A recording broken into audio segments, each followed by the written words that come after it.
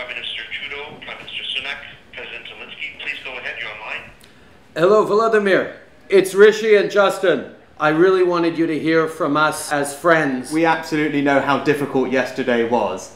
It was horrific for you and your country, and we have called it out in the session that we've just had uh, and on the media here this morning, and we made that point loud and clear uh, to, the, to everyone who was here that what your country had to live through yesterday was unacceptable and represented yet more uh, barbarity from the Russians. We stood united in condemning it. Rishi and I really wanted to, to reach out to reassure you, uh, to show you we're standing with you, uh, and to say we're gonna we're gonna uh, figure out this uh, step by step all together. Thank you, Volodymyr. Talk to you soon.